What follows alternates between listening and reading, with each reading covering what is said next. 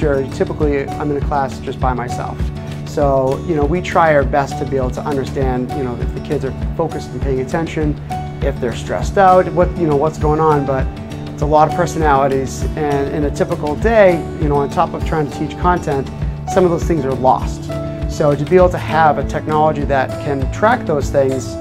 and make it easier for a teacher that, you know, we don't have to filter through data and it does it all for you, it's great for that purpose for sure.